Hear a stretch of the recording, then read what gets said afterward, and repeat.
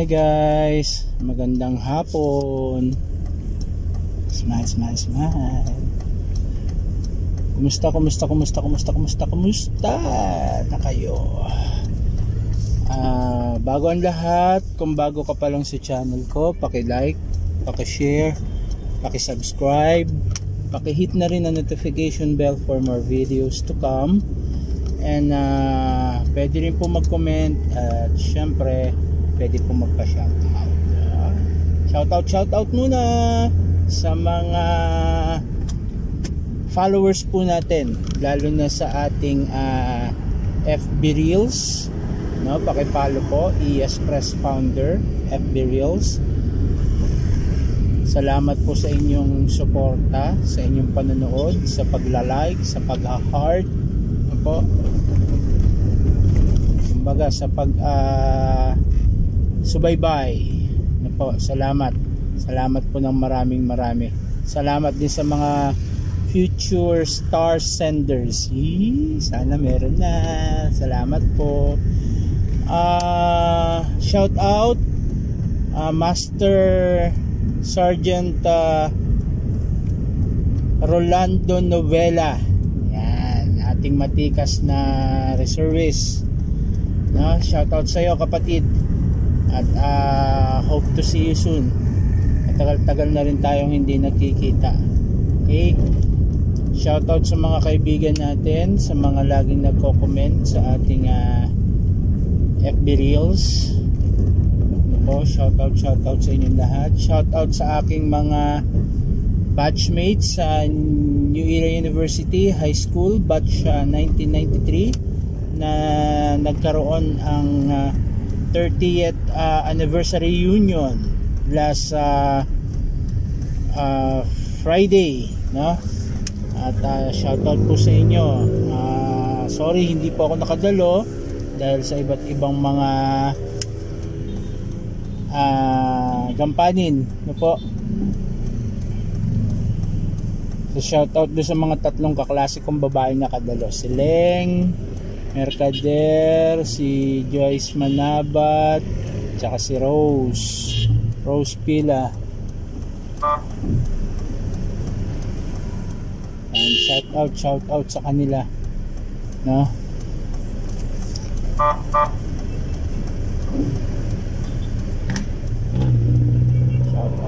Tagal lumiko naman nito.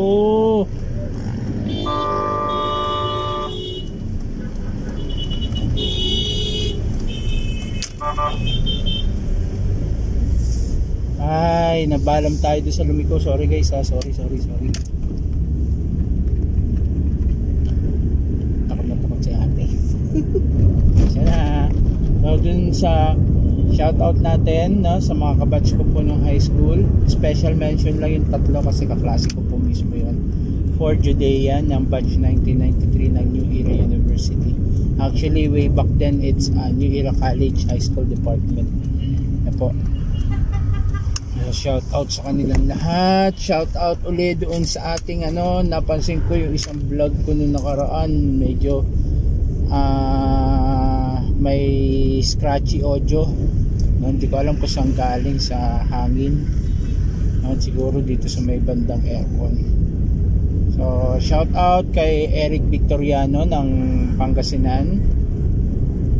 Shout out din kay uh, sino ba yung mga shinout out ko last time? Shout out do sa aking mga kaibigan. Mark Daniel Servito ingat ingat saan ka man naroon sa mga pagkakataong ito.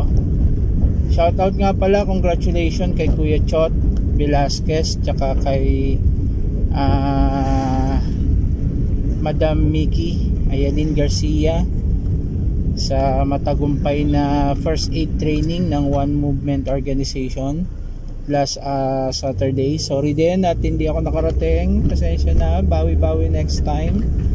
So, congrats din sa aking uh, uh, kaibigan at uh, tinuturing ko na rin na kababatang kapatid uh, ang aking uh, bunsong kapatid sa tactical medic na si Angelo Vicentana congrats sa mga achievements mo. Punso uh, ingat-ingat lang ha? Ingat-ingat. Enjoy mo lang. At uh, syempre always uh, put your feet on the ground. Okay? Laging paalala ni kuya pads. Diba? Huwag ikalalaki ng ulo ang lahat ng achievements. Okay? So good luck. More achievements to come. At uh, ingat-ingat sa mga travels mo. At uh, nung nakaraan do sa Scratchy Audio o vlog ko ay uh, sinoutout ko rin yung aking kapatid Eileen uh, Padrigo Junila. Dalawa lang naman kami yan ang talagang bunsong kapatid ko po by blood. Diba? At uh, shoutout sa iyo aking sister. Sa kanyang asawa si Dan o si Atoy okay, shout out sa aking mga pamangkin si Heart si Aldwin at si Dane na malapit na mag-birthday. Okay? So, yung susunod na mga shoutout natin sa susunod naman natin vlog. Uh, as promised, uh, guys, uh, discuss natin yung isa sa matinding cause ng uh, uh, death nowadays. Actually, it's uh, sur- surprisingly diba nakatatawag ng pansin sa Tagalog actually this past few weeks actually last week nga lang eh dahil doon siya nag uh, masyadong naging kapansin-pansin dahil uh, dahil sa cause na to ay maraming namatay ito yung tinatawag na sa tinatawag na rip current no sa lahat ng mga nag uh, nalunod no isa sa cause ng pagkalunod yung rip current na tinatawag. Yan yung actually ngayon kung di ako nagkakamali no more or less 80 person na since last week lang okay yung tinatawag na na dahilan ng pagkamatay ay pagkalunod because of rip current.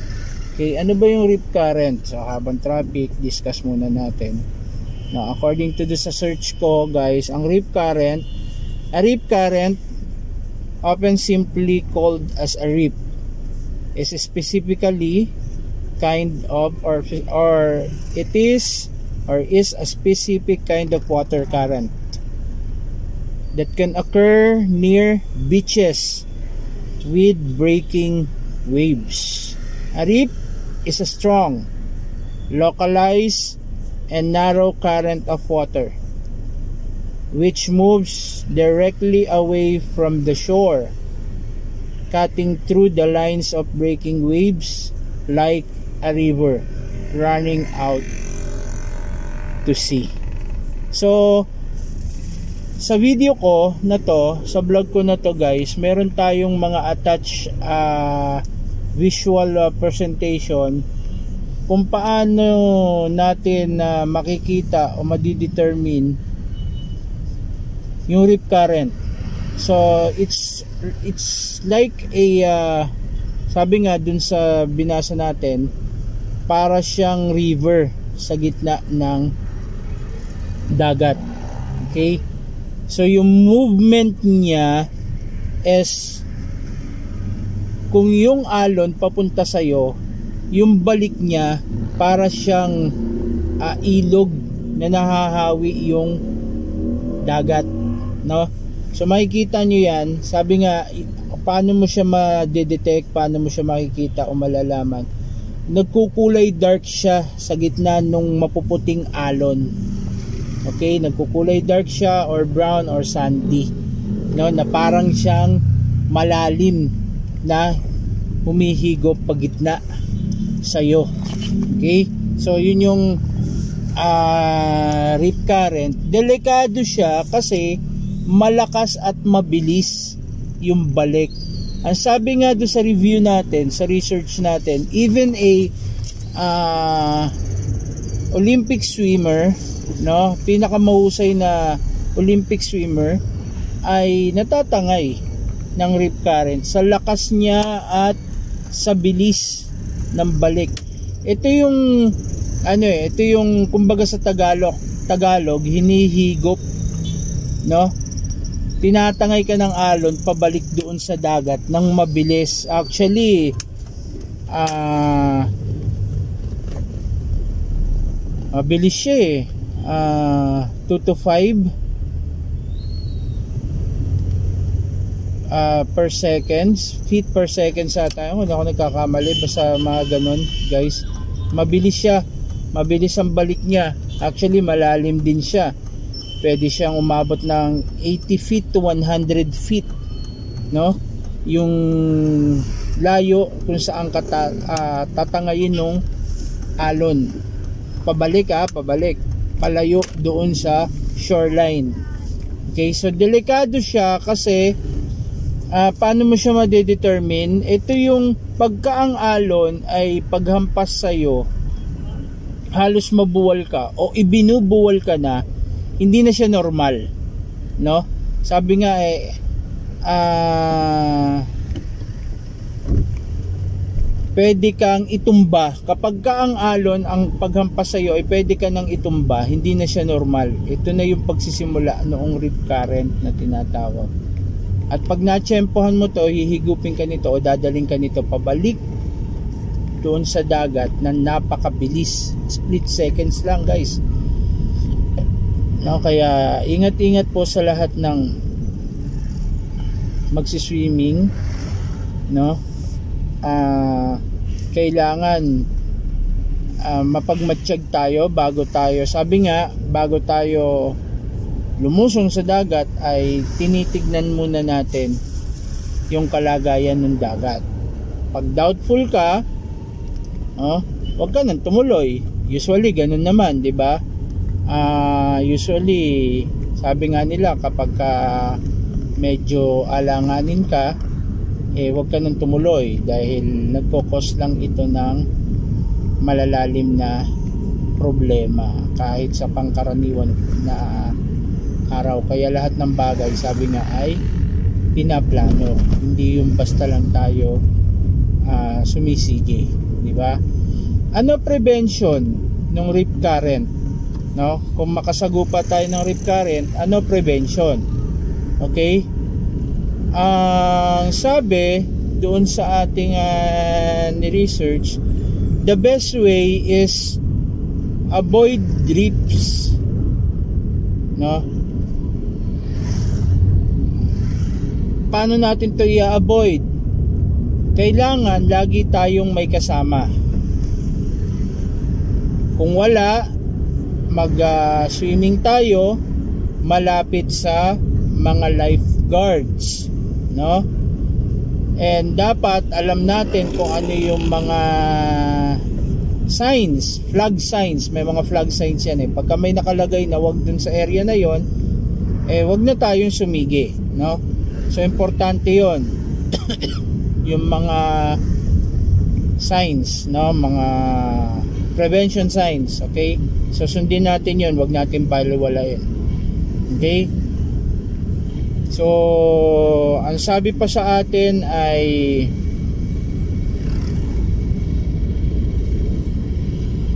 kapag ka napansin nyo oh, na iba na yung dating ng alon eh umalis na tayo umahon na tayo.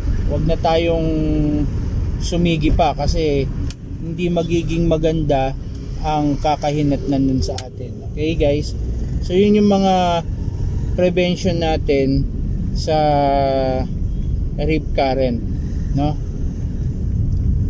Walang pinipiling panahon ng rip current guys. Nag nag uh, de-develop din ito kahit nakalmado ang dagat. Okay? So ingat-ingat. Uh, mag-research po ng mga beach safety tips para mas uh, maging aware po tayo. Okay? Napaka-importante ng awareness. Sabi nga iba na ang may alam. Okay? So ingat-ingat. Uh, survival paano tayo magso-survive sa rip current? Uh, unang una ito yung madalas naming sabihin lalo sa uh, emergency medical uh, responder course no? Uh, madalas ang nagkokos ng uh, malalang sitwasyon sa isang senaryo ay yung tinatawag na uh, panic mode no? So ang sabi sa atin stay calm no? Kalmado lang. Go with the flow ibig sabihin pag uh, tinangay ka ng rip current na yon wag mo siyang salubungin no? Wag kang lalangoy pasalubong dun sa current. Uubusin niya yung enerhiya mo tatangayin ka kapag ka nandun ka na sa dulo ng pagkatangay sa'yo hindi mo na kaya. So swim with the current no, pag hindi mo na kaya float okay so napaka importante ng marunong lumangoy guys ha. Marunong mag float so yun yung isa float. Then ah pwede pong lumangoy pero wag pasalubong dun sa current kundi parallel. Parallel to the current. Ibig sabihin ka-level siya nung shoreline. Ganun kalalangoy hindi po pasalubong then babalik ka uh, may anggulo pagbalik mo doon sa shoreline Okay, wag kang sasalubong doon sa current. Napaka-importante nun. No? Tapos pag hindi mo na kaya, wave ka lang. No? Basta wag lang magpapanik guys. Yun yung isa. Wag magpapanik. Para ma-determine pa rin natin kung ano yung dapat natin gawin along the way. No? uh, dito na tayo sa work nagpa-parking lang po tayo kaya medyo kung mapapansin nyo eh tumitingin ako sa likod dahil baka meron tayong masagi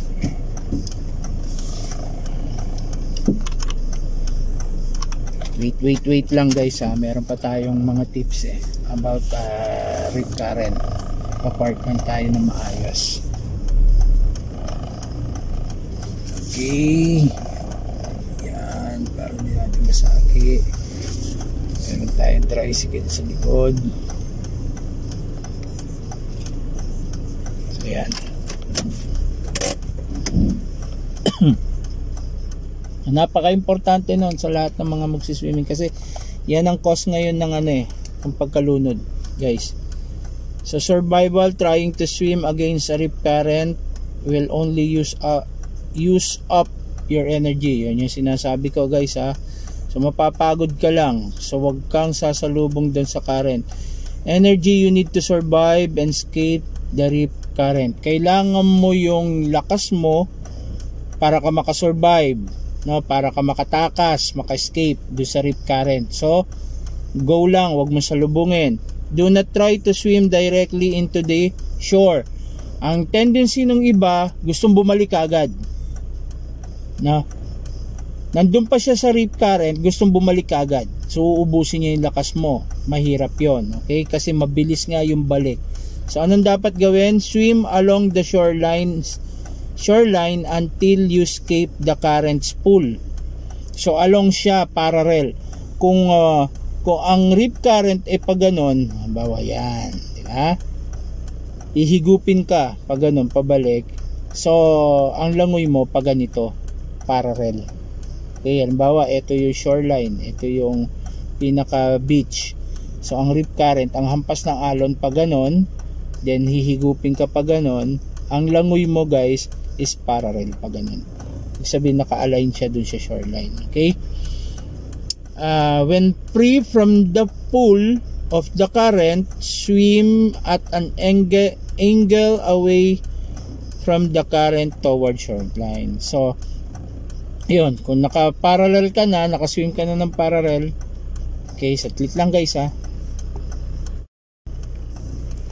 tuloy tayo doon sa ating rip current discussion okay rules if caught in a rip current, ito yung dapat natin gawin. Ito yung rules. Swim out of the current in a direction following the shoreline. So yun yun, parallel. No, may mga i-attach po ako ditong images kung paano po ninyo gagawin. Okay? So if not tignan nyo lang po yan. Meron pa meron ko ilalagay kasama ng video. Okay? Uh, when out of the current, swim at an angle away from the current toward shore. Okay, tsaka ka bumalik. Okay? Ulit ha, pag tinangay ka, follow. Pag follow mo, float or swim parallel, then tsaka ka bumalik. Huwag mong salubungin. Layuan mo yung parallel swim mo, then tsaka ka lumiko. Okay? So, if you are unable to swim out of the current, yon sabi ko nga mag-float or calmly tread water. So, yan na guys. Ah, uh, ito pa isa, pagka kasi binuwal ka nito, hinampas ka, pinalo yung paa mo, bumaksak ka, hindi ka kagad makakatalon.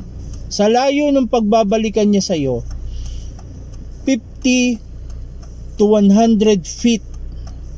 Eh baka mamaya pagtayo mo andun ka na sa malalim na lugar. So yun yung nagkokos ng panic sa iba lalo na sa hindi marunong lumangoy. No? So dun tayo dapat aware. Dun tayo dapat nag-iingat guys. Kaya floating device mas maganda meron ka meron kang life jacket kung nakasalbabida ka man ang bawat tinangay ka ng rip current huwag lang magpapanik mag wave lang pag hindi na kayang bumalik. Basta huwag ka lang bibitaw dun sa salbabida mo. Okay? So napaka importante nun. Safety tips. Unang una di ba sabi nga natin doon sa kanina keep calm. So isa sa safety tips is relax. Rip currents don't pull you under. So ito yon hindi kanya ipupull ng palalim. Kasi nga, nasa shoreline ka pa eh, nandun ka pa sa pangpang. Kaya hampasin ka, tatangayin ka lang pabalik ng mabilis. No, hindi kanya hihigupin palalim kasi nga wala naman malalim na, baba, na lugar. Ang magiging malalim na lugar is yung dulo na ng rip current na baka mamaya pagtayo mo nandun ka na sa pinakamalalim na lugar. Okay, so napaka-importante nun. Ingat-ingat lang. Don't swim against the current. Oh, yun na yung dinidiscuss natin kanina. Ah, yan yung mga safety tips. Kasi nga, maaaring ubusin niya yung lakas mo. You may be able to escape by swimming out of the current in a direction following the shoreline. So, parallel. Okay? Natin kakalimutan yon Or towards breaking the waves. Okay? waves, ito yung waves, pwede mo siyang salubungin. Okay? Para makawala ka doon sa current. Then, at an angle towards the beach. So, aangle, iaanggulo mo yung pagbalik mo. Okay? So, yun yung mga safety tips. So, ingat-ingat guys. No? How to avoid and survive rip currents ulit. Inuulit-ulit ko. Keep calm. To get out of the rip current, swim sideways o parallel. Nga. Yung uh, toward shorelines ka level ng shorelines. No? Yan, parallel to the beach. Number 3, when out of the rip current, swim at an angle away from the rip current and towards the shore. If you can escape this way, try to float and calmly uh, tread the water and wave for help. Okay, napaka-importante na. So, as always, sabi nga, iba na ang may alam. Okay, guys? Kaya, naging kapansin-pansin ito, so dapat nagkakaroon tayo ng way para hanapin yung paraan kung paano natin uh, matatakasan itong sitwasyon na ito itong rip current no kasi kung pakikinggan lang natin siya sa balita at papaniwalain natin ang sarili natin na kaya natin makatakas dyan nang wala tayong alam, nang hindi tayo nag-research, eh, might as well malaki yung chance na mapahamak tayo. Hindi na mahirap mag-research ngayon, i-type nyo lang sa Google dyan sa inyong uh, cellphone.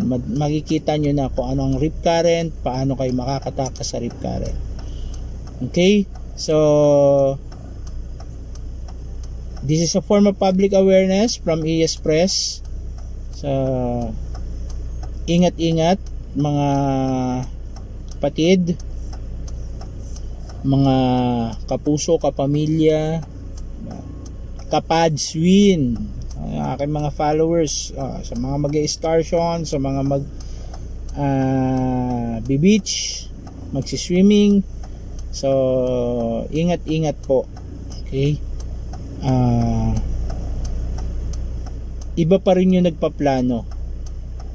So hindi basta sumisigi lang tayo. Kahit sa buhay na ito, pag hindi mo plinano yung dapat mong gawin, no, wala kang patutunguhan. Ha? Maging kalmado para yung isip, 'di ba? Eh nakapag-iisip ng maayos. Sabi nga, huwag salubingin yung rip current para ka makatakas. So ganun din sa karaniwang buhay. No?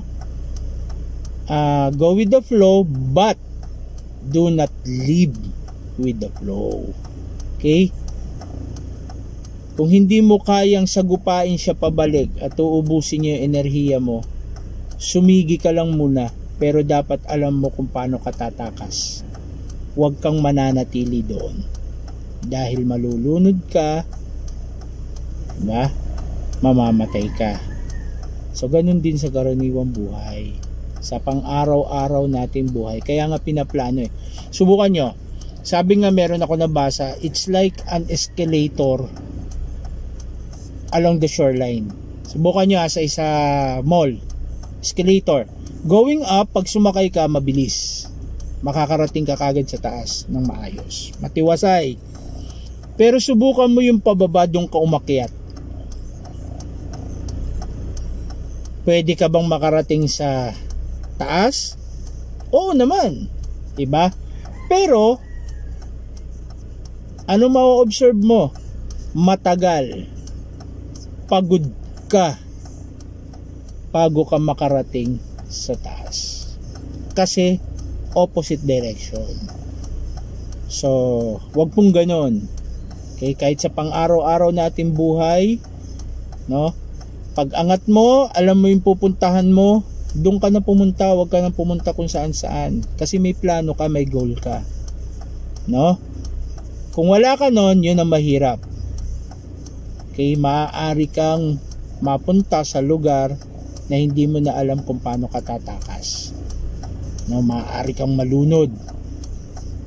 Okay? So, meron din siyang uh, tawag dito itinuturo sa atin itong mga ganitong senaryo, sitwasyon, no? Isang uri ng pagsubok 'yan eh. Yan tinatawag na rip current. Diba? Pero may paraan para mo siya matakasan. At kailangan mong sumunod dun sa paraan na 'yon. Dahil pag hindi ka sumunod dun sa paraan na 'yon, mahihirapan kang makatakas. So ganun din sa buhay. No guys, so ingat-ingat Simple lang po. Ang buhay sa araw-araw. Sabi ko nga, maitawid natin ang isang araw, napakalaking biyaya na po nun. Ipagpasalamat na natin yan sa ating Panginoon Diyos kapag gising natin sa kinabukasan sapagkat muli dinugtungan niya yung ating buhay. Araw-araw na makatawid tayo, hindi natin napapansin nagiging buwan, nagiging taon, nagiging maraming taon. So, ingat, God bless, stay health, stay wealthy, wealthy in a nice way, 'di ba? Sabi nga maging mayaman tayo sa pananampalataya, sa pagtitiwala at sa pag-asa sa magagawa ng ating Panginoong Diyos sa ating buhay. So much for that. Good day! Bye, bye, bye. Smile, smile, smile. Salamat po. Enjoyed this video? Hit the like button and share with your friends. Also, subscribe to our channel for more videos like this. Thanks for watching.